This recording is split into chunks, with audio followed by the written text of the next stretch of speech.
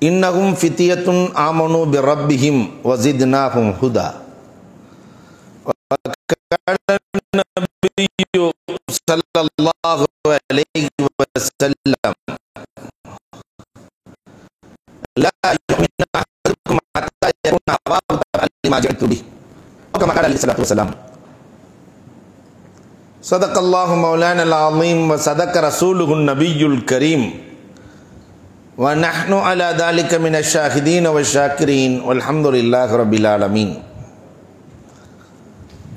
புகழ் அனைத்தும் அல்லா ஜல்ல ஷானகு தாலாவிற்கே உரித்தாக்குக சாந்தியும் சமாதானமும் கண்மணி ரசூலுல்லாஹி சல்லல்லாஹு அலைஹி வஸல்லம் அவர்களின் மீதும் அவர்களை பின்பற்றிய உத்தம சத்திய சஹாபாக்கள் தாபியங்கள் தப தாபியங்கள் சுகதாக்கள் சாலிகீன்கள் நாதாக்கள் நல்லவர்கள்.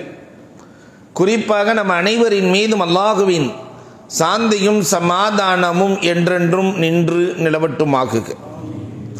கணியத்திற்கும் மிகுந்த மரியாதைக்கு முறைத்தான் அல்லாஹுவின் நல்லடியார்களே. இலக்கை நோக்கும் இளைஞர்கள் என்று இளைஞர்களை குறித்த சில தகவல்களை இன்றைக்கு உங்களோடு பகிர்ந்து கொள்ள ஆசைப்படுகிறோம். இந்த இளைஞனின் இலக்கு என்னவாக இருக்கிறது? என்ன இலக்கை நோக்கி மார்க்கம் பயணிக்க சொல்கிறது? என்பது குறித்து சில செய்திகளை உங்களோடு பகிர்ந்து கொள்ள ஆசைப்படுகிறோம். ஒரு நான்கு கட்டங்களாக இதை பிரிக்கலாம். இன்றைய இளைஞர்களின் போக்கு எப்படி இருக்கிறது? மார்க்கம் என்ன சொல்லுகிறது? முன்னால் வாழ்ந்த நபிமார்கள் சகாபாக்கள் இறைநேச இளைஞர்கள் எப்படி வாழ்ந்து காட்டினார்கள்? இன்றைக்கும் நல்ல இலக்கை நோக்கி சமூகத்தை பயணிக்க வைக்கிற இளைஞர்கள் எப்படி இருக்கிறார்கள்? என்று நான்கு கோணங்களில் உங்களோடு சில செய்திகளை பரிமாறிக்கொள்ள ஆசைப்படுகிறோம். அன்புக்கும் இறைநேசத்திற்கும் முறைத்தான் அல்லாஹுவின் நல்லடியார்களே ஒரு கதை ஒன்று போட்டிருந்தார்கள். பச்சோந்திகள் எல்லாம் தற்கொலைக்காக முயற்சி செய்ததாம். எதற்காக என்று கேட்கிற போது பச்சோந்திகளை யாரும் பிடிக்க முடியாது. இடத்திற்கு ஏற்றமாறு நிறத்தை மாற்றி தப்பித்துக் கொள்ளும். நீங்கள் தான் நிறத்தை மாற்றி தப்பித்துக் கொள்கிறீர்களே நீங்கள் ஏன் தற்கொலைக்கு முயற்சிக்கிறீர்கள்? அவ பச்சோந்திகள் சொன்னதாம் எங்களை விட மனிதர்கள் அதிகமாக நிறம் மாறுகிறார்கள். எங்களை விட அதிகமாக மாறிக்கொண்டிருக்கிறார்கள். என்னென்ன சந்தர்ப்பமோ அந்த சந்தர்ப்பத்திற்கு தகுந்தவாறு தன்னுடைய வாழ்க்கையை மாற்றி அமைக்கிறான் மனிதன். நாங்கள் இருந்து என்ன பயன் என்று கேட்டதாம். சமூகத்தின் சூழலும் இன்றைக்கு அப்படித்தான் இருக்கிறது. இன்றைக்கு நிறைய இளைஞர்கள் இன்றைக்கு இளைஞர்களை காப்பாற்ற வேண்டிய பொறுப்பு சமூகத்தில் இருக்கிற எல்லோருக்கும் கடமை. ஒரு சில இளைஞர்கள் இன்றைக்கு போதைக்கு அடிமையாகிறார்கள். பதினாறு வயதில் போதைக்கு அடிமையாகிற இளைஞர்கள் இன்றைக்கு அதிகரித்து வருகிறார்கள். ஏதோ ட்ரக்ஸ் ஏதோ ஒன்றுக்கு அடிமையாகி நிறைய மாத்திரைகள் பயன்படுத்தப்படுகிறது. அன்புக்குரியவர்களே இந்த கடலோர பகுதிகளில் இஸ்லாமியர்களை வைத்தே இந்த வேலையை செய்யப்படுகிறது. இஸ்லாமியர்கள் போதைப் பொருள் வாங்கினா விலை கம்மி. மற்றவர்களுக்கு விலை அதிகம். என்று போதைக்கு அடிமையாகிற பழக்கம் ஒன்று திட்டமிட்டு ஊட்டப்படுகிறது. போதைப் பொருள் எங்க பிடிபட்டாலும் யாரா மாற்றான்னாக்கா எல்லாம் நம்ம பசங்களா தெரியுது. நம்ம இளைஞர்களாக தெரிகிறது. மனம் வருத்தப்படுகிறது. அன்பிற்குரியவர்களே ஒரு சதித்திட்டம் ஒன்று சமூகத்தில் நடக்கிறது. ஆனால் அதை பற்றி கண்டுகொள்ளாத சூழல். காரணம் இந்த இளைஞர்கள் யாருக்கும் கட்டுப்படுவதில்லை. குடும்பத்திற்கும் கட்டுப்படுவதில்லை. மல்லாவுக்கும் கட்டுப்படுவதில்லை. ஜமாத்துக்கும் கட்டுப்படுவதில்லை. இதுதான் இன்றைக்கு காலத்தினுடைய சூழல்.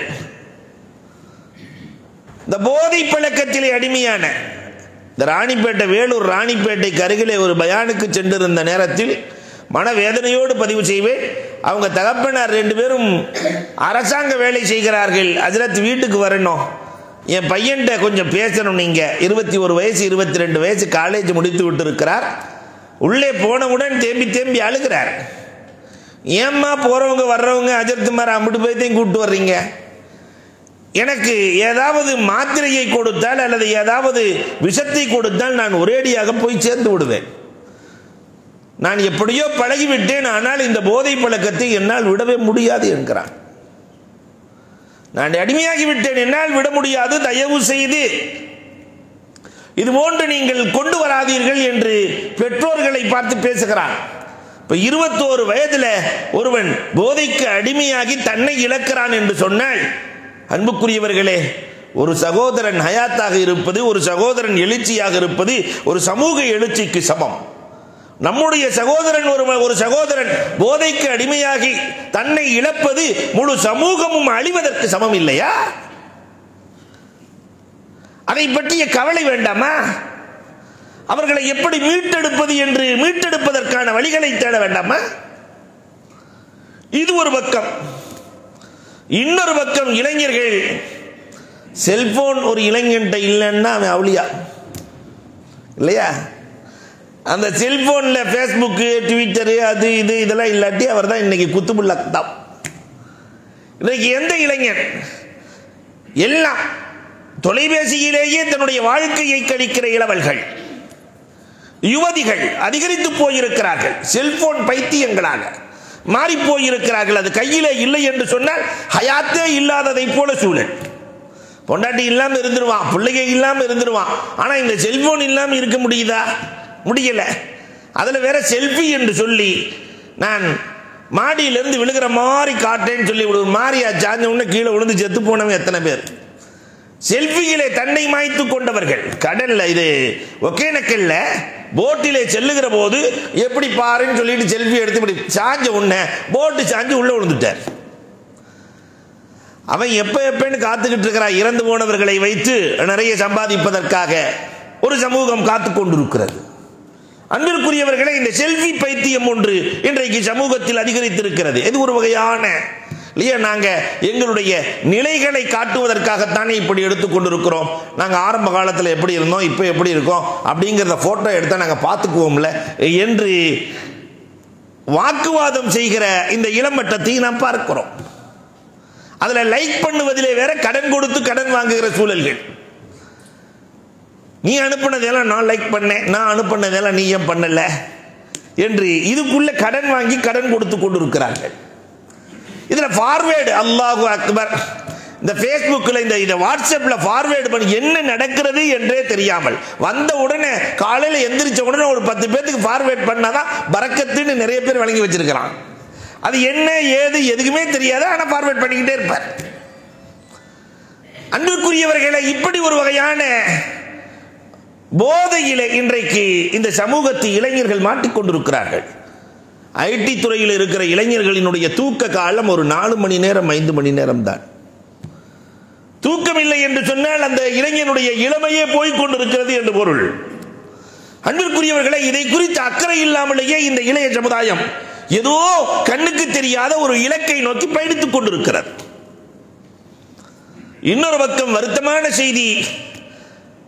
வாழ்றது ஒரு முறை நாம எப்படி பொருளீட்டி என்ன வகையில் வாழ வேண்டும் என்று ஒரு இலக்கே இல்லாமல் இளைஞர்கள் வாழ்ந்து கொண்டிருக்கிறார்கள். குடும்பத்துக்காக வாழ வேண்டுமா இல்லையா? ஒரு தடவை வாழப் போகிறோம். முறைப்படுத்திய வாழ்க்கை திட்டமிட்ட வாழ்க்கை இப்படித்தான் வாழ வேண்டும் என்று வகுத்து கொண்ட வாழ்க்கை அறவே இல்லை. காலையில் எழுந்ததிலிருந்து ஏதோ போன போக்கிலே போகிறார்களே தவிர திட்டமிட்ட வாழ்க்கை இருக்கிறதா? தன் குடும்பத்தை எப்படி வழிநடத்த வேண்டும்? நாம முன்னேறி நாம பத்து பேருக்கு முன்னுதாரணமாக வேலைகளை கொடுத்து அவர்களை தூக்க வேண்டும் எழுச்சியில் உருவாக்க வேண்டும் என்று துடிக்கிற இளவல்கள் இன்றைக்கு இல்லை. ஏதோ என்னமோ போயிட்டு இருக்கிற காடி கைசா செல்தாக வைசாகி செல்தாக. எப்படியோ போயிட்டே இருக்குது அது வாட்டுக்கு வண்டி. அன்பிற்குரியவர்களே யோசிக்கிறோம். சமூகத்தை தூக்கி நிறுத்துவதற்கு முன்னால் நம் இல்லத்தை தூக்கி நிறுத்த வேண்டாமா? நம்முடைய பெற்றோர்கள் நமக்காக அள்ளி அள்ளி கொடுத்த பெற்றோர்கள் அறுபதுக்கும் மேலேயும் வேலை செய்கிறார்கள் என்றால் நீ உருப்படாத இளைஞன் என்று பொருள். அறுபதுக்கு மேல அவங்கள உட்கார வச்சு அவங்கள பாதுகாத்து அவர்களுக்கு தேவையானதை செய்து கொடுக்கிற இளவல் இருக்கிறானே அவன் தான் வாழ பிறந்த இளவன். ஆனா இன்னைக்கு இருக்கிற இளைஞர்களினுடைய கூட்டம் எப்படி வாழ்கிறது? இல்லையா? வேலைக்கு போக சொன்னால் அந்த வேலைக்கு ஒழுங்காக போகிறதில்ல எங்கே போனாலும் அதுக்கு நம்ம சமூகம் இருக்கிறதே. ஒருத்தனுக்கு வேலையை கொடுத்தோன்னு சொன்னால் பாதியில் விட்டுட்டு போயிடுறான். சொல்கிறதே இல்லை. மற்றவன் கூட ஒழுங்காக செய்கிறான் நம்ம ஆளு அல்லாஹு அக்பர். ஐடி முடிச்சுட்டு அப்பதான் போகிறான் வேலைக்கு. போய் உள்ளே சேரும்போதே அதுவும் நிறைய ரெக்கமெண்டில் உள்ளே போய் சேரும் போதே ஆரம்பத்தில் எட்டாயிரம் ரூபா தான்ப்பா ஆறு மாதம் கழிச்சு நல்லா நீ செஞ்சேன்னாக்கா வேலை செஞ்சேன்னா உனக்கு நாற்பதாயிரம்ப்பா. சொல்லிட்டு வர்றான் நம்மளால தைரியமாக அப்போ நான் ஆறு மாதம் கழிச்சு அவன் சேர்ந்துக்கிறேன். இப்போ வரல.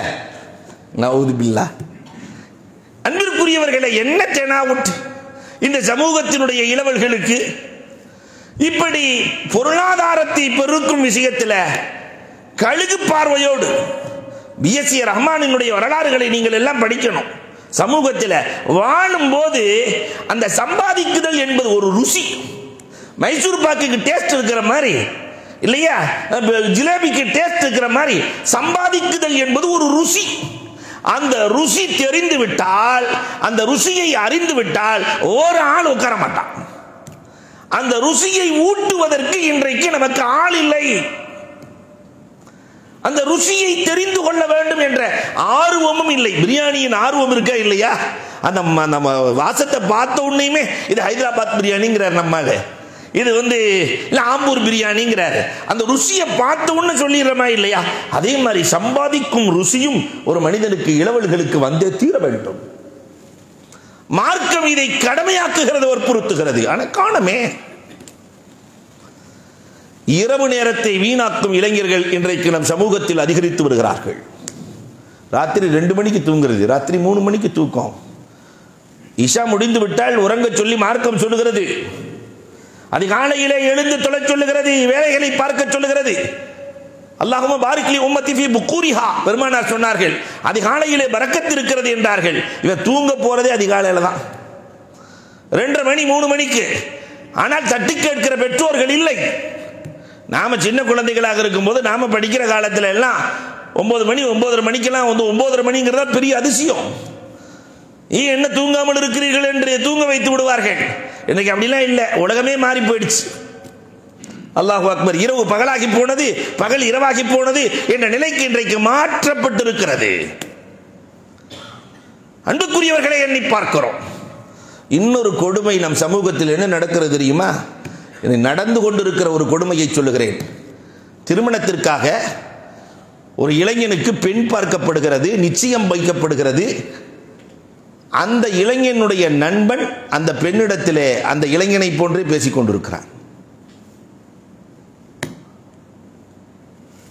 தன் நண்பனின் மனைவியிடத்தில் நண்பனின் பெயரை சொல்லி பேசிக் கொண்டிருக்கிறான். இவன் நிச்சயதார்த்தம் வச்சதுக்கு பின்னாடி இவன்கிட்ட சொல்லிட்டான். நிச்சயதார்த்தத்துக்கு பின்னாடி பேசக்கூடாதுரா பேசினாக்க அன்பு இருக்காதுரான்னு இவன்கிட்ட சொல்லிட்டான். இவன் பேசவே இல்லை கல்யாணம் வரைக்கும். கல்யாணம் வரைக்கும் அவன் பேசி முதல் நாளிலேயே முதல் நாளிலேயே நிக்காக ரத்தாகிறது. முதல் பேசிகிட்டு இருக்கும்போது அன்னைக்கு ராத்திரி நீங்கள் பேசுனீங்கல்ல இன்னைக்கு நீங்கள் பேசுனீங்கல்ல அந்த அம்மா ஆரம்பித்த உடனே நான் பேசவே இல்லையே யார் பேசினா? கடைசியில் பார்க்கிற போது திருமண முறிவு ஏற்படுகிறது. ஒரே நாள் ஒரு மணி நேரம். ஒரு குடும்பத்தை பாழாக்கிய ஒரு பெண்ணையும் அந்த பெண்ணை மனமுடித்தவரையும் பாழாக்கிய குற்றம் யாரை சேர்ந்தது? எத்தனை லட்சங்கள் வீண் திருமணத்திற்காக? எத்தனை அலைச்சல்கள் எத்தனை முயற்சிகள்? என்னைக்காவது யோசிச்சோமா? அன்பிற்குரியவர்களே வேற எங்கேயும் இல்லை. நம் சமூகத்தில் நடக்கிறது இந்த கொடுமை. அல்லாஹ் தான் பாதுகாக்க வேண்டும். அன்புக்குரியவர்களே இன்னொரு பக்கம் கூடா நட்பு கொண்டு இந்த ஃபேஷன் கலாச்சாரத்திலே மூழ்கி போன இளவல்களும் நம் சமூகத்தில் இருக்கத்தான் தெரிகிறார்கள். நிறைய ஃபேஷன் இந்த ஃபேஷன்கிற பேரில் முடி வைக்கிறத பார்த்துருக்கீங்களா இளைஞர்கள்? இந்த முடி வைக்கிறது அந்த ட்ரெஸ் கோடு அவங்க நட உட அல்லாஹு அக்பர் சுண்ணத்தான அழகான முறையிலே மார்க்கம் வாழ்வதற்கு அற்புதமான வழிகளை காட்டுகிறது. ஆனால் அது எல்லாத்தையும் விட்டுட்டு நம்ம ஆள் ஒரு பக்கம் கடுக்கா போட்டிருக்கிறான். ஒரு பக்கம் காதில் தொங்குது. அறுபது வயசு கிழவி அந்த காலத்தில் போடுவாள்ல அதை தூக்கி இவன் போட்டு விட்டுருக்கிறான் கே பேர் கேட்டால் முபாரக் அலினா. பேரை உன் பேரை பேசாமல் இதுலேருந்து அலி. இஸ்லாமிய பேர்லேருந்து நீ அலி முதல்ல.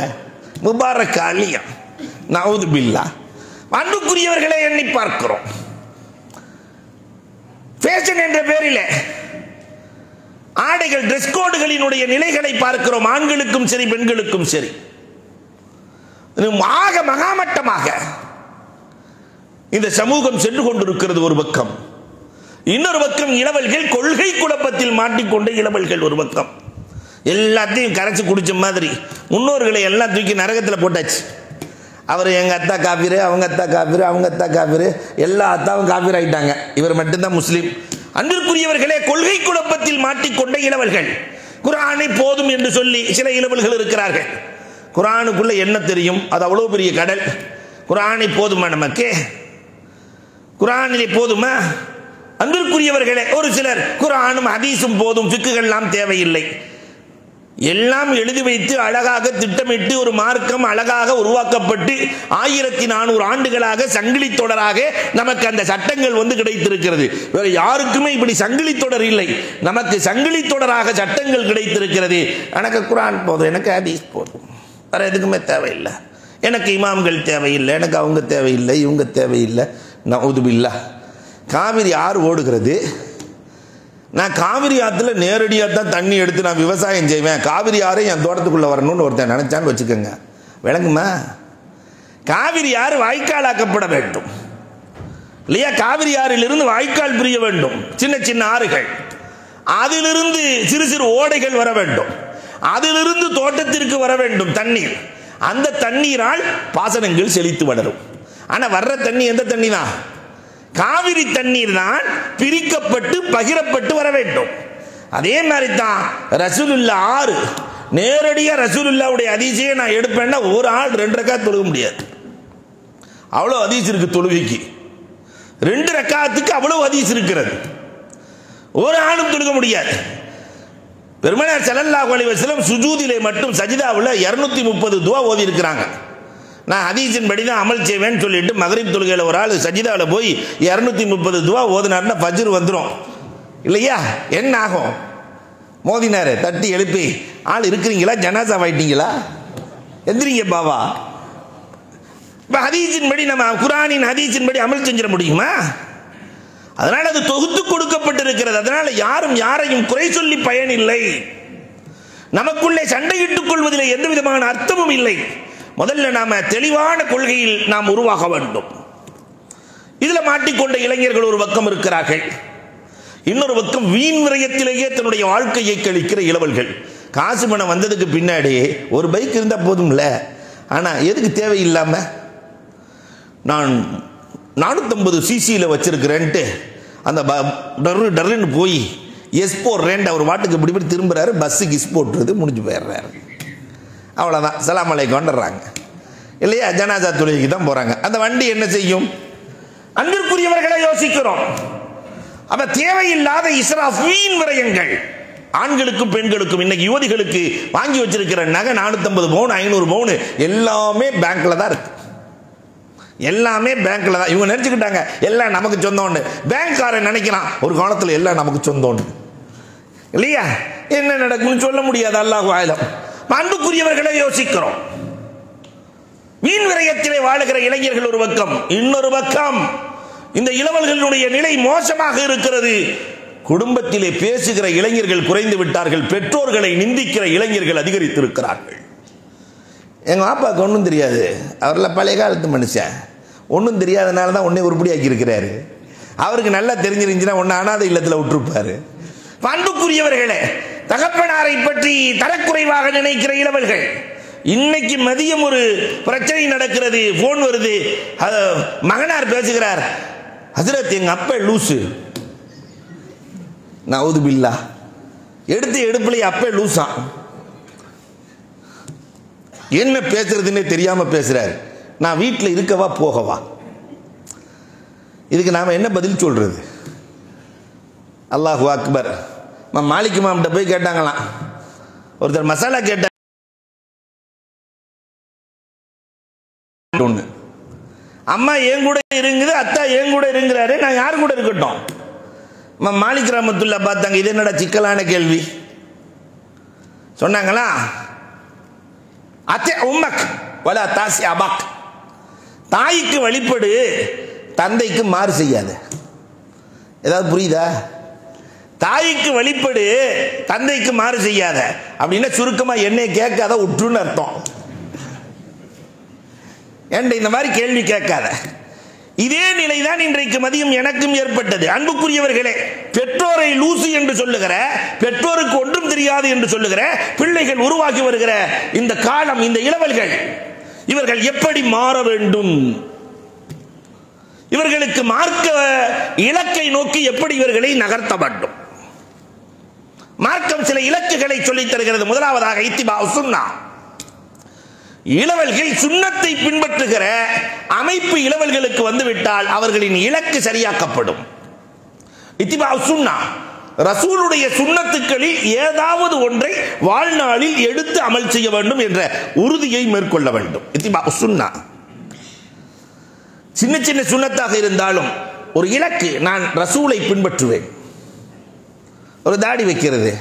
சகல் ரலியல்லாஹுத்தாலா மொதல் பட்டன் போட மாட்டாங்க. என்ன காரணம் என்று கேட்கிற போது ரசூலுல்லா எப்பயுமே ஃபஸ்ட் பட்டன் போட மாட்டாங்க. அதனால நான் போடுறதில்லை. ஒரு ஆடையில் கூட அண்ணனை பின்பற்றுகிற அனசர் அல்லா குத்தலாவுக்கு இயற்கையிலேயே சுரக்க பிடிக்காது. ஆனா ரசூலுல்லா சாப்பிட்டார்கள் எனவே எனக்கு பிடிக்கும். நடுமாங்கு பெருமானாரை பார்க்கிறார்கள் நடுமாங்கு எடுப்பார்கள் ரசூலுல்லா அபு மகதூரா நடுமாங்கு வரல. லேசா எடுத்து தீய வச்சு சுட்டுக்கிட்டாங்களாம். அன்பிற்குரியவர்களை நடுமாங்குக்காக என்ற சூழின் சுண்ணத்தை நான் பின்பற்ற வேண்டும் என்பதற்காக. ஏதோ ஒரு சுண்ணத்தை வாழ்நாளில் பின்பற்றலாம் இல்லையா? இஸ்லாமிய இளைஞனின் இலக்கு சுண்ணத்தாக இருக்க வேண்டும். இரண்டாவதாக நற்குணங்களை உருவாக்குதல். இளவல்களுக்கு மெயினா இன்னைக்கு அது தேவை. இன்னைக்கு குணம் ரொம்ப கெட்டு போச்சு.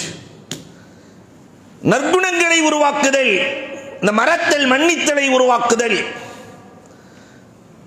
அல்லாஹ் அக்பர் சகாபாக்களினுடைய குணங்கள் எப்படி இருந்தது? ஒருத்தர் உபகாரம் செஞ்சிட்டாருன்னா அந்த உபகாரத்துக்கு பிரதி உபகாரம்.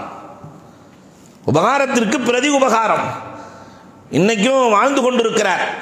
நீங்க எல்லாம் பார்த்தா திருவண்ணாமலைக்கு போனா ஜமால் பாயிண்டா உலகத்தில் எல்லாத்துக்குமே தெரியும் திருவண்ணாமலை வாசிகள் தமிழ்நாட்டில் இருக்கிற எல்லாத்துக்கும். அவர் கஷ்டப்பட்ட காலத்தில் அவருக்கு ஒரு ரூபாய் உதவி செய்தவர். தேடி பிடிச்சு தேடி பிடிச்சு தேடி பிடிச்சு நான் நன்றாக இருக்கிறேன். எனக்கு உதவி செய்தவர் நன்றாக இருக்க வேண்டும். அவரை உருவாக்குகிறார். என்ன அழகான வழிமுறை. அல்ல அவருக்கு நீண்ட ஆயுளை தருவானாக. அன்பிற்குரியவர்களை என்றோ உதவியவர்களை தேடி பிடித்து உபகாரம் செய்கிற பண்பாடு. பெருமானார் அதைத்தானே செய்தார்கள். இன்னைக்கு காலம் உள்ள உபகாரம் செய்பவர்களை எல்லாம் ஊதறுகிற இளவல்கள். இல்லையா? சின்ன சின்ன உபகாரங்களையும் மனதிலே நிறுத்தி அதற்கு நாம் பிரதி உபகாரம் ஒன்று செய்ய வேண்டும் என்று துடிக்கிற போது அல்லாஹ் ரபுலாலமே இவர் வாழ்க்கையையே உயர்வாக்குகிறானே. எங்கே அந்த எண்ணம் நமக்கு இருக்கிறது? ஹிதுமத்துல் ஹல்க். மூன்றாவது சமூக பார்வை சமூக அக்கறையும் இளவலுக்கு வேண்டும். நாம மட்டும் நல்லா இருந்தா போதும். எவன் எக்கேடு கட்டு போனா நமக்கு என்ன என்ற நிலை இல்லாமல் சமூக அக்கறை உள்ள இளவல்களாக மாற வேண்டும். அல்லாஹ் அக்பர். பெருமானாரினுடைய வரலாறுகளை பார்க்கிறோம். ரசூல்லா போயிட்டே இருக்கும்போது ஒரு கிளவி ரொம்ப முடியாம சுமைகளை தூக்கிட்டு வருது. ரசூல் செல்லல்லாஹு அலைஹி வஸல்லம் வீட்டையெல்லாம் காலி பண்ணி சுமையை தூக்கிட்டு வருது. ரசூல் இல்லா அம்மா குடும்பம் நான் தூக்கிட்டு வர்றேன். இளைஞராக இருக்கிறார்கள் பெருமானார். பெருமானார் தலையில தூக்கிட்டு போகும்போது அந்த கிளவிட்ட ரசூல் செல்லல்லா அலிஸ்லாம் கேட்டாங்க ஏமா வீட்டை காலி பண்ணி போற? இந்த ஊருக்கு முகம்மதுன்னு யாரோ ஒருத்தர் வந்திருக்கிறாராம் அவர் சொல்லு காதில் விழுந்துடக்கூடாதுன்னு அவரை பார்த்துடக்கூடாது அவர் ஒரு மாரியா சொல்கிறாராம் புதிய மார்க்கத்தை கொண்டு வந்திருக்கிறாராம் அவருக்கு பயந்துக்கிட்டு தான் நான் ஊரை விட்டே போகிறேன் அந்த கிளம்பி போகிற வழியில எல்லாம் பொதுவாகவே பொம்பளைகளுக்கு பேசவே தெரியாது இல்லையா? ஆரம்பிச்சுன்னா முடிக்காதுங்க. போகிற வழி முழுக்க பெருமானார் செல்லல்லாக அலைவ செல்லத்தை துட்டி கொண்டே செல்கிறது. அந்த அம்மா ஊரை கடந்து தான் பிடித்திருக்கிற வீடு வருகிறது. பெருமானார் எல்லாம் இறக்கி வச்சுட்டு கிளம்புகிறார்கள். பெருமானாரை அழைத்து தம்பிங்க வாப்பா. இவ்வளவு தூரம் எனக்காக வேண்டி வந்தீங்க. நீ யாருப்பா? என்று கேட்கிற போது அம்மா நீங்க யாரை திட்டினீர்களோ அந்த முகம்மது நான் தானம்மா அந்த முகம்மது நான் தானம்மா அல்லாஹ் அக்பர். அஷத் அல்லா இலஹ இல்லல்லாஹ் அன்னக்க ரசூலுல்லாஹ் என்ற அந்த கிழவி பெருமானாரோடு இணைந்து கொண்ட வரலாறுகளை பார்க்கிறோம். இப்ப ஏதாவது ஹித்மத்துல் ஹல்க். படைப்புகளுக்கு இமாம் கஸ்ஸாலி ஐம்பத்தி நாலு வயசுல ஆயிரம் புக்கு எழுதினவர். எவ்வளவு? அவர் எழுதுகிற போது ஈக்கள் வந்து அந்த பேனா முனையிலே உட்கார்ந்து விட்டால் அந்த ஈ போகிற வரைக்கும் எடுக்க மாட்டாராம். ஏன்னா அது தாகம் தீர்க்க வந்திருக்கிறது. அதனுடைய தாகத்தை கெடுத்து விடக்கூடாது. ஈயின் தாகம் கூட கெட்டுவிடக்கூடாது என்று நினைத்த உம்பத் இந்த உம்பத்து அப்ப நம்முடைய குடும்பத்தார்கள் சந்தோஷம் இழக்கலாமா? நம் மகல்லா சந்தோஷம் இழக்கலாமா? நம்முடைய ஊர் உகல்ல நம்முடைய உலகம் சந்தோஷம் இழக்கலாமா? நாம சமூகத்திற்கு என்ன செய்தோம்? குடும்பத்திற்கு என்ன செய்தோம்? யோசிக்க வேண்டும் இளவல்களே. அப்துல்லா இபனு ஜாஃபர் அலி அல்லாஹுத்தலா மதினாவினுடைய பத்து பணக்காரர்கள் அவர் ஒருத்தர் பெரிய ஆள் அப்துல்லா இபனு ஜாஃபர். அவர் தோட்டத்துக்கு போயிருக்கிறாரு. தோட்டத்தில் போனால் அவருடைய அடிமை. அடிமைகள் எப்பொழுதுமே ஒரு நேரம் தான் சாப்பிடுவான். மதியம் மட்டும் காலையில் இருக்காது நைட்டு இருக்காது. ஒரு நேரம் ஒரு மூணு ரொட்டியை கொண்டு வந்து வச்சு சாப்பிட்லான்னு உட்காடுறான் அவர் அப்போ தான் தோட்டத்துக்குள்ளே நுழையிறாரு அப்துல்லா இப்னு ஜாஃபர் அலி அல்லாஹு தலா சாப்பிட இவன் பாத்திரத்தை திறக்கிற போது ஒரு நாய் வந்து நின்றுச்சு. அந்த இளைஞன் தோட்டத்தை பராமரிக்கிற இளைஞன் ஒரு ரொட்டியை தூக்கி நாய்க்கு வச்சான். அப்துல்லா இப்னு ஜாஃபர் டே நாம் என்ன பணக்காரன்? நம்மளை போய் குடைவள்ளல் குடைவள்ளல்ங்கிறாங்க. இருக்கிற மூணு ரொட்டி இவன் சாப்பிட்றது ஒரு நாளைக்கே மூணு தான் அதில் ஒன்றை தூக்கி நாய் கொடுத்துட்டானே. என்னடா மனுஷன்? இவல்ல மனுஷன் குடைவள்ளல். அந்த நாய் ஒரு ரொட்டியை சாப்பிட்டுட்டு போகலை. அடுத்து எதிர்பார்த்த உடனே இன்னொரு ரொட்டியை இங்கே கொடுத்துட்டான். ஆடி போனார் அப்துல்லா இப்னு ஜாஃபர் அலி அல்லா இவன் இவனுக்கு நாம் முதலாளியா? இல்லை இல்லை. உண்மையிலேயே குணத்தால் குணத்தால் இவன் தான் நமக்கு முதலாளி. இருக்கிறதுல ரெண்டத்தையும் கொடுத்துட்டானே. அந்த நாய் ரெண்டையும் சாப்பிட்டுட்டு போகல பசியோடு இருக்குன்னு தெரிஞ்சுக்கிட்டு மூணாவதையும் தீ கொடுத்துட்டான். வேகமாக வந்து அப்துல்லா இப்னு ஜாஃபர் அலி அல்லாஹுத்தலா தம்பி அந்த ஹுர். நீ எனக்கு அடிமையாக இருக்கிற தகுதி இல்லைப்பா. உன்னை நான் உரிமை விட்டு விட்டேன். உன்னை நான் உரிமை விட்டு விட்டேன். என்னை போய் இந்த மக்காவாசிகள் கொடை வல்லல் என்று பேசுகிறார்கள். உன்னிடத்தில் இருப்பதே இந்த மூன்று ரொட்டி தான் அதையும் கொடுத்து விட்டாய். உன்னை விட கொடைவள்ளலை நான் பார்க்கவில்லை. அப்ப அந்த அடிமை சொன்ன வார்த்தை என்ன தெரியுமா? எஜமான் இந்த பகுதியில் நாய்கள் இல்லை. நம்முடைய தோட்டத்திற்கு வந்த நாயை நான் பசியோடு அனுப்ப விரும்பவில்லை. நம் தோட்டத்திற்கு வந்த நாய் நாய் கூட பசியோடு போகக்கூடாது என்று நினைத்த உம்மத் இது. அப்ப சமூக மக்கள் பசியோடு இருக்கலாமா? இன்றைக்கு நோன்பு வைப்பதற்கு வழி இல்லாமல் எத்தனை பேர் நம்முடைய சமூகத்தில் இருக்கிறார்கள் தெரியுமா? வஹித்மத்துல் நம்மால் முடிந்தவரை ரப்பு நமக்கு கொடுத்ததை மற்றவர்களுக்கு கொடுத்து மகிழ்விக்கிற மனோபாவம். இந்த உம்மத்துக்கு நிறைய தேவைப்படுகிறது. இந்த இளைஞர்களுக்கு நிறைய தேவைப்படுகிறது. அல்லாஹு அக்பர். அடுத்து தௌபா.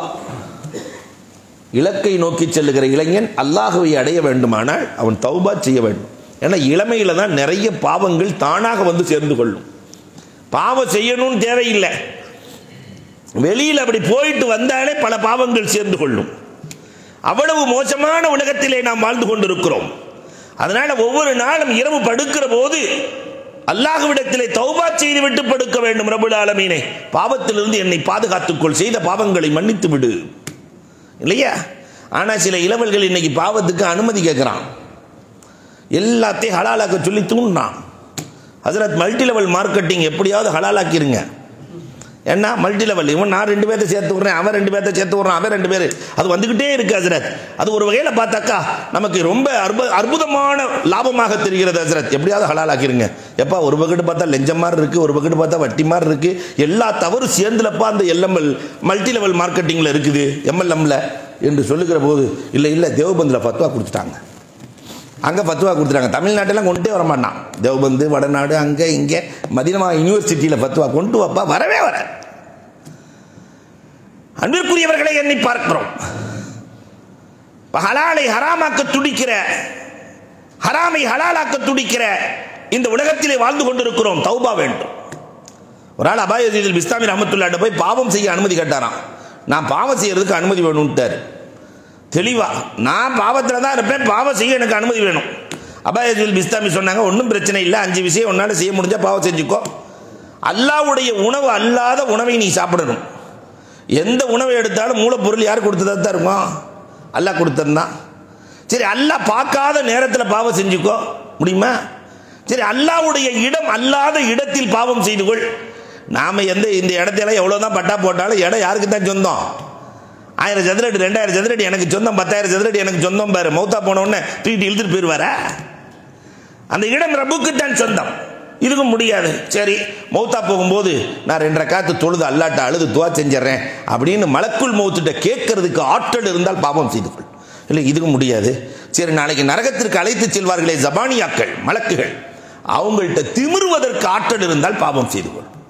நல்லா வர முடியாது போயா? என்று மலக்குகளை தள்ளிவிடுவதற்கு ஆற்றல் இருந்தால் பாவம் செய்துகொள். இல்லை இதுக்கு முடியாது. அப்படின்னா பாவம் செய்யாத? அன்புக்குரியவர்களை எதுவும் முடியாது. இப்போ பாவத்திலிருந்து ரெண்டு சொட்டு கண்ணீர் சிந்தி அழுகிற போது ரபுல் ஆலமி மன்னிக்க தயாராக இருக்கிறார். இந்த உம்மத்து மன்னிப்பு கேட்க தயாராக இல்லை. இப்போ இளைஞனின் இலக்கு தௌபாவாக அல்லாஹ்விடத்திலே பாவ மன்னிப்பு கேட்பதாக இருக்க வேண்டும். அஞ்சாவதாக கலுமுல் கோபங்களை இளைஞர்கள் மென்று விழுங்க வேண்டும்.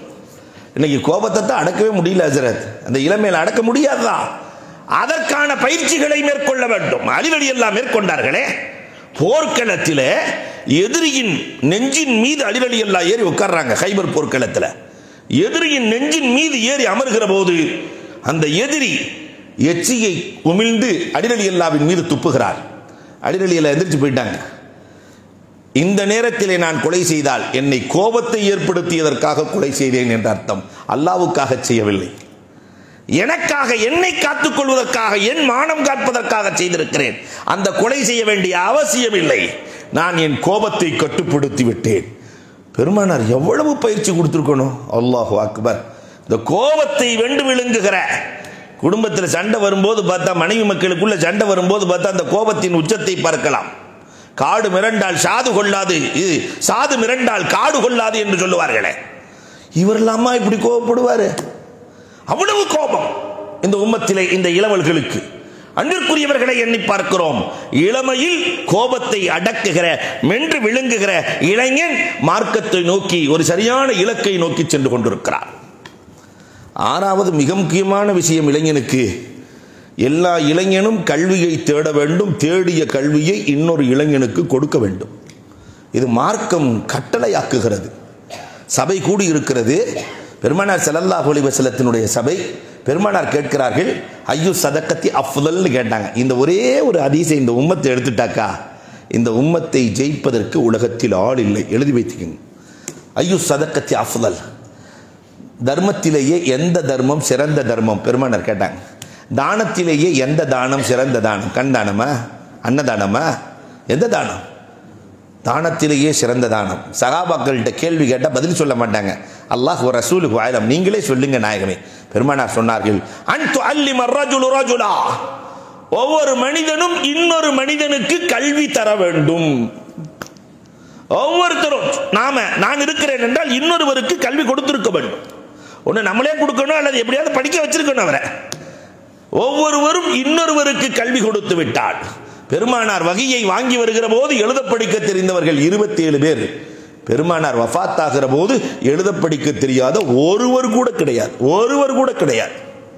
பிலால் அடிமை பிலால். அபுபக்கர் அலி எல்லாம் உரிமை விடுறாங்க. உரிமை விட்டோன்னு என்ன செஞ்சாங்க தெரியுமா? முதல்ல எழுதுகோள். பேனா ஒரு பேடு அந்த காலத்தில் சிலேடு மாதிரி வாங்கி கொடுத்து எழுத சொல்கிறாங்க பிலால் அலி அல்லா எழுதும் போது அந்த பேனா ஒரு அமுக்கு அமுக்குன உடனே அதனுடைய நுனி உடைந்து போகிறது. உடனே அபுபக்கர் அலி அல்லா பார்த்துட்டு அதை சரி செய்கிறார்கள். இதை பெருமானார் பார்த்து கொண்டே சிரிக்கிறார்கள். அபுபக்கர் அலி அல்லா கேட்டாங்க ஏன் நாயகமே சிரிக்கிறீங்க?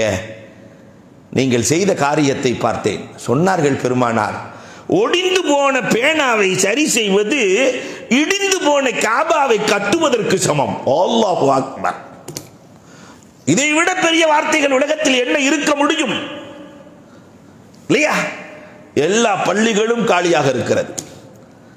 கற்றுத் தேர்ந்தவர்கள் பன்னெண்டாவது படிக்கிற பையன் பத்தாவது படிக்கிற பையனை மால்லாவில் கூப்பிட்டு வச்சு டியூஷன் நடத்த முடியாதா? முடியாதா நம்ம சமூகத்தில்? எவெல்லாம் பத்தாவது படிக்கிறானோ எல்லாவா நான் டியூஷன் நடத்துகிறேன் மல்லாவுக்கு நான்கு இளைஞர்கள் தயாரானால் வெறும் நான்கு இளைஞர்கள் டென்த்தில் எல்லாத்தையும் பாஸ் ஆக்குறது மட்டுமல்ல நானூறுக்கு மேல் இருக்க வைத்து விடலாம். நான் நீட்டுக்கு எடுக்கிறேன். என்று நாலு இளவல்கள் தயாரானால் பன்னெண்டாவது படிக்கிற அத்துணை பேர்களையும் மருத்துவராக யாரெல்லாம் தேர்ச்சி பெறுகிறார்களோ அவர்களை மருத்துவராக நாம உட்கார்ந்த இடத்துல செய்ய முடியுமே? எல்லா பள்ளிகளும் நூறு பள்ளிக்கு மேலே கோவையில் இருக்கிறது. நூறு பள்ளிகளும் தயாராகத்தான் இருக்கிறது கல்விக்கு. ஆனால் அதை எடுத்து நடத்த ஆள் இல்லையே. இந்த இளவல்கள் தயாராக இல்லையே? கல்வியை கற்றுக்கொள் கல்வியை கொடு. இதனை இந்த இளைஞருக்கு மார்க்கம் சொல்லி தந்த முறை. பதிர் போர்க்கள கைதிகளை பார்த்து பெருமானார். அவர் என்ன முஸ்லீமா? அவர்கிட்ட என்ன கல்வி இருந்ததோ அந்த கல்வியை முஸ்லிமுக்கு கொடு. உன்கிட்ட இருக்கிறத கொடுத்துட்டு போ. கல்வியை எல்லா கல்வியையும் ஒன்று சேர்த்துக்கொள். அல்லாஹு அக்பர் இதை போன்று ஒரு மார்க்கம் சொன்னதாக வரலாறே இல்லை. பதிமூன்று நூற்றாண்டு வரை எடுத்து பாருங்கள் எல்லா விஞ்ஞானமும் இந்த இருபத்தி நாலு மணி நேரம் கடிகாரம் ஓடுகிறதே. யார்? இஸ்லாமியன் கொடுத்த பிச்சை. கோர்ட்டில் இருக்கிற இன்றைக்கும் இருக்கிற அந்த அமைப்புகள் உசூல்கள் இஸ்லாமியன் கொடுத்த பிச்சை.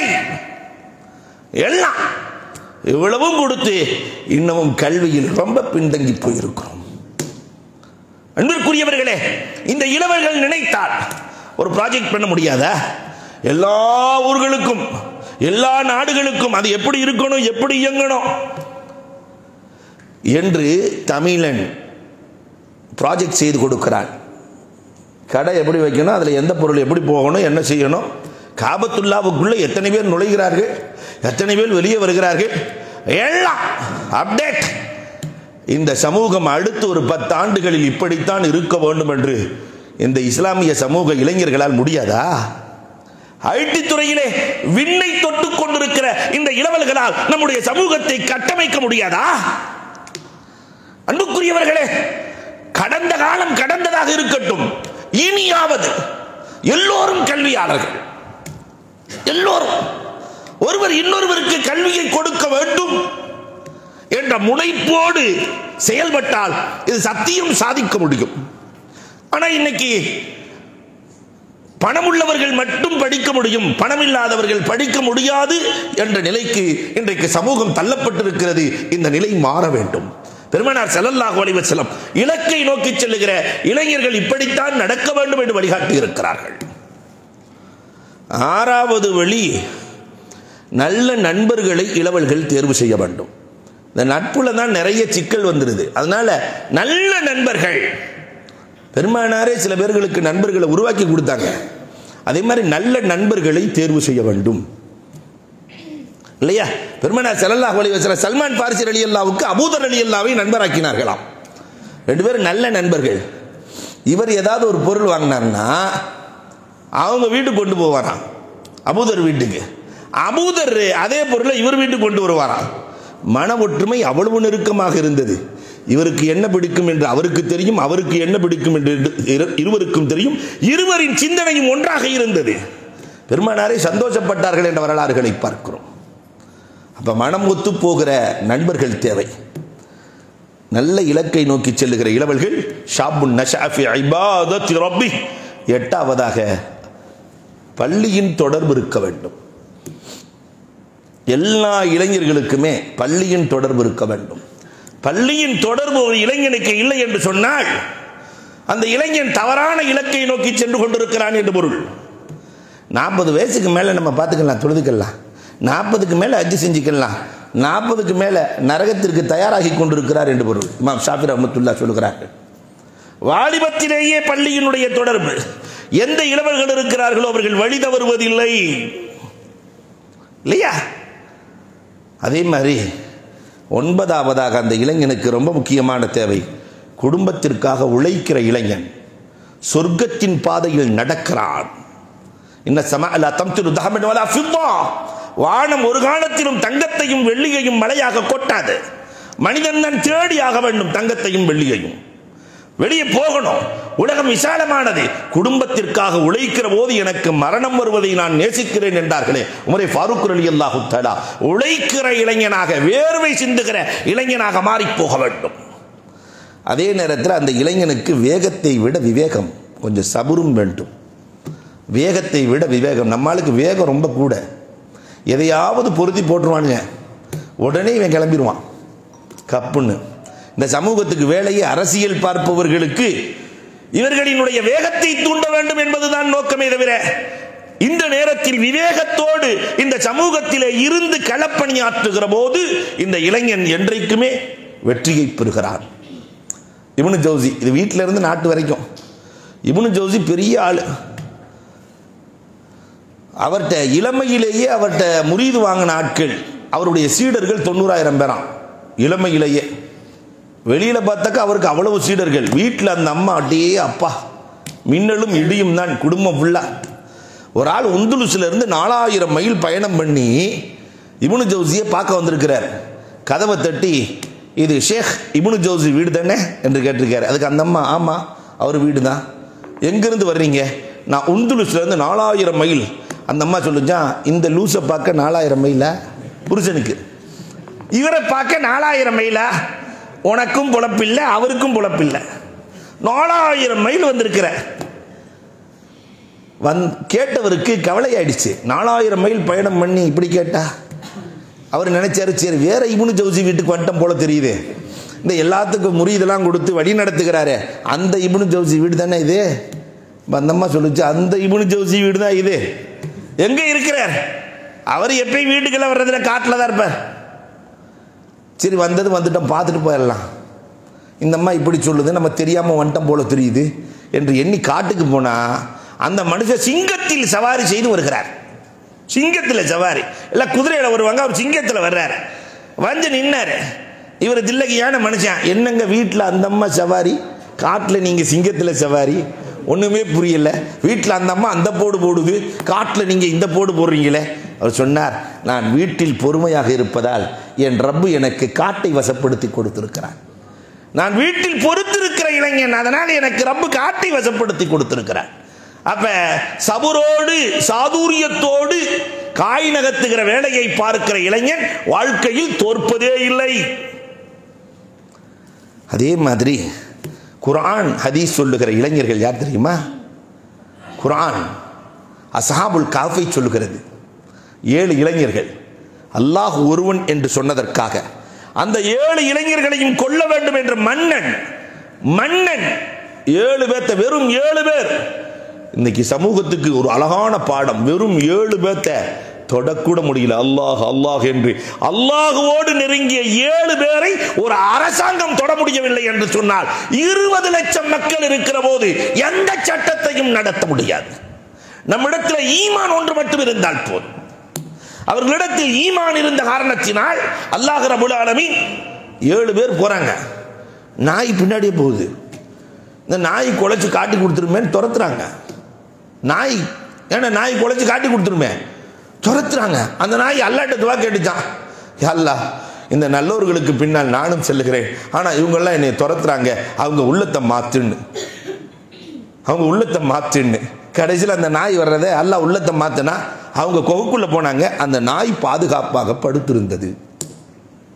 குரான் பேசுகிறது. உலகத்தில் நாமெல்லாம் நாய் வளர்க்குறோம். நாய் எப்படிப்பட்டது? நாயினுடைய தன்மையை சொல்லுன்னு சொல்லுவோமா? நமக்கே தெரியாது. அல்லாஹ் சொல்கிறான் எப்படி படுத்துருந்துச்சின்னு கல்புகும் பாசித்தும் துரா ஐகுபில் வசி நான் இப்படி படுத்துருந்துச்சு இப்படி பார்த்துக்கிட்டு இருந்துச்சு. எல்லாம் அழிஞ்சு போயிருச்சு. ஆனால் அது மட்டும் திரும்பி கூட பிறண்டு கூட படுக்கலை. பார்த்து கொண்டே இருந்து நிறைய பேசுகிறான் அல்லாஹ் ரபுலானவை நாளை மறுமையில் அந்த நாய் சொர்க்கத்திற்கு செல்லும். நல்லோர்களை பாதுகாத்த நாய். குரான் நமக்கு எவ்வளவு பாடம் சொல்லுகிறது. அந்த ஏழு இளவல்கள். அல்லாஹ் ஒருவன் என்று சொன்னதற்காக சத்தியத்தில் நின்றதற்காக யாரும் எதையும் செய்ய முடியவில்லை. உலகத்தில் அல்லாஹ் என்று உறுதியோடு நின்றால் உலகம் உலகமே ஒன்று சேர்ந்தாலும் எதையும் செய்ய முடியாது என்ற பாடத்தை அழகாக சொல்லித் தருகிறார். இப்ராஹிம் அலைஹிஸ்ஸலாத்து அல்லாஹ் சமிஅனா ஃபதா குரான் அல்லாஹ் சொல்லும்போது என்ன அழகாக சொல்லுகிறான்? எல்லாம் போயிட்டாங்க விழாவுக்கு. இப்ராஹிம் அலைஹிஸ்ஸலாம் என்ன செஞ்சாங்க? வாலிப பருவத்தில் எல்லா அஸ்னாம்களையும் உடைச்சிட்டு பெரிய அஸ்னாம் கழுத்தில் தூக்கி கோடாலியை தூக்கி போட்டு போயிட்டாங்க. வந்து பார்த்தா எல்லாம் உடஞ்சு கிடக்கு. பெரிய ஆள் மட்டும் கோடாரியோடு நின்றுட்டு இருக்கிறாங்க. அப்போ வந்து கேட்டாங்க என்ன உடைஞ்சு கிடக்குது? அப்போ அங்கே இருக்கவங்களாம் சொன்னாங்க இந்த வேலையெல்லாம் இப்ராஹிம் தான் செஞ்சுருப்பார். கூப்பிடுங்க. இப்ராஹிம் அலைஹிஸ்ஸலாம் வர்றார். வந்த உடனே யார் உடைச்சது? யார் உடைச்சது? இப்ராஹிம் அலைஹிஸ்ஸலாம் சொன்னாங்க அந்த கோடாரி கிடக்குதுல தெரியலையா? இந்த அவர் தான் உடைச்சிட்டு உட்காந்துருக்கிறாரு உடைச்சிட்டு அவர் இடத்துல போய் ஜம்முன்னு. உடைக்க முடியுமா? நகர முடியுமா? எப்படி சொல்லுகிறாய்? பிறகு எதற்கு வணங்குகிறீர்கள்? நகர முடியாதது. தன் மீது கொசு உட்கார்ந்தால் கூட ஈ உட்கார்ந்தால் கூட விரட்ட முடியாததை ஏன் இபாதத் செய்கிறீர்கள்? அல்ல சொல்றான் ஊரே ஒன்று சேர்ந்திருக்கிற போது சத்தியத்தில் நின்ற அந்த இளவல் சாதிக்க பிறந்த இளவல் சாதித்து காட்டினார் என்று அல்லாஹ் பேசுகிறான். யுகாலு லஹு இப்ராஹிம். அவருக்கு இப்ராஹிம் எதுக்கருகும் எதுக்குருகும்? அவர்களை பற்றி பேசுவார்கள். அவருக்கு பேர்தான் இப்ராஹிம். நிறைய அல்லாஹ் குரானிலே பேசுகிறான். யூசுப் அலைஹிஸ்ஸலாம் அந்த இளவலை பற்றி அல்லாஹ் சொல்லும் போது என்ன சொல்றான்? உலகத்தில் யூசுப் அலைஹிஸ்ஸலாம் மாதிரி அழகு படைத்தவர்கள் யாராவது இருக்காங்களா? யூசுப் அலி இஸ்லாம் மாதிரி யூசுப் அலி இஸ்லாம் வெளியே போனாலே நாட்டினுடைய ராணியிலிருந்து கீழ்மட்டத்தில் இருப்பவர் வரை யூசுப் அலி இஸ்லாத்தை துரத்துறாங்க. பேரழகு. நீங்க நம்ம இளைஞனை துரத்தினா விடுவானா? சான்ஸ் எதிர்பார்த்துட்டு உட்காந்துருக்கான் காலையில இருந்து சாயந்தரம் வரைக்கும் யாராவது மாட்டுவாங்களான்னு இல்லையா? அப்ப அன்புக்குரியவர்களை யோசித்து பார்க்கிறோம். யூசுப் அலி இஸ்லாம் துரத்துறான். வெளியே சென்றாலே பிரச்சனை. தங்கி இருக்கிற வீட்டில் பிரச்சனை. மன்னன் அல்லாஹு அக்பர். இந்த மாதிரி ஒரு சுச்சுவேஷன் இந்த நேரத்தில் யூசுப் அலி இஸ்லாம் என்ன செஞ்சாங்க தெரியுமா? அல்லா எனக்கு சிறைச்சாலையை கொடு. அசித்துன் அகப்பு இலை. எல்லாரும் தப்பு செஞ்சுட்டு சிறைச்சாலைக்கு போமா? தப்பு நடக்காமல் இருக்க சிறைச்சாலைக்கு போறாங்க. தப்பு நடந்துடக்கூடாது. அந்த இளவன் அந்த இளவல் எவ்வளவு இஃபத்? இல்லையா? எவ்வளவு பத்தினித்தனம்? இந்த பத்தினித்தனம் இளவல்களே வந்ததா? தனிமையில் அமர்ந்து கொண்டு செல்போனிலே கண்டதையும் பார்க்கிற போது வருகிறதா? அன்பிற்குரியவர்களை யோசிக்க வேண்டும். ஒரு நாள் அல்லாட்ட யூசுப் அலி இஸ்லாம் கேட்டாங்களாம். தப்சீரில் எழுதுறாங்க அல்லா நான் இவ்வளோ பெரிய நபி எவ்வளோ பெரிய நபி. எனக்கு போய் ஜெயிலில் போட்டி என்னை போய் பன்னெண்டு வருஷம் ஜெயிலில் போட்டியன் இப்போ அல்லா சொன்னானா நானா போட்டேன் நீ தானே கேட்ட? நீ தானே கேட்டாஸ்?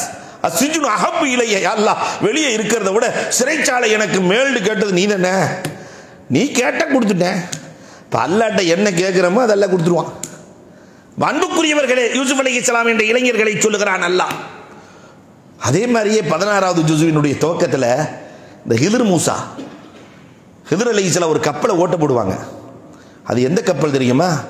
பத்து ஏழைகள் சேர்ந்து கப்பல் ஏழை சேர்ந்து கப்பல் வியாபாரம் நடத்தினான்னா யோசிக்க வேண்டும். கூட்டு வியாபாரத்தில் எவ்வளவு பறக்கத்து இருக்கிறது? பத்து ஏழை இளைஞர்கள் ஒன்று சேர்ந்தார்கள். கப்பல் வாங்கி வியாபாரம் செய்தார்கள். கப்பல் வாங்கி வியாபாரம் செய்த சின்ன வியாபாரமா? கப்பல் வியாபாரம் ஏழைகள். அதே மாதிரி இந்த உம்மத்தில் கூட்டு வணிகம் இருந்தா இந்த உம்மத்து மேல போகுங்கிறதுக்கு அழகான பாடத்தை சொல்றா. இளவல்களே ஒன்று சேருங்கள். கப்பல் கூட உங்களால் ஓட்ட முடியும். கப்பல் வணிகம் கூட உங்களால் செய்ய முடியும். ஏன் பிரிந்து கிடக்கிறீர்கள்? குரான் அழகா பேசுது அற்புதமா பேசுது. ஆனா இந்த உம்மத்து ஒன்னே சேர்றது இல்லையே அல்லாஹு அக்பர். முசாபிபுன் இப்னு ஹதீசுகளிலே பார்க்கிறோம் முசாபிபுன் இப்னு பெருமானார் மதினாவுக்கு போறதுக்கு முன்னாடி மதினாவிற்கு சென்ற இளைஞர். மதினாவை உருவாக்கிய இளைஞர் பெருமானார் மதினாவுக்குள்ள ஃபஸ்ட்டு போகும்போது ஊரே ஒன்று சேர்ந்து இருந்துச்சா இல்லையா?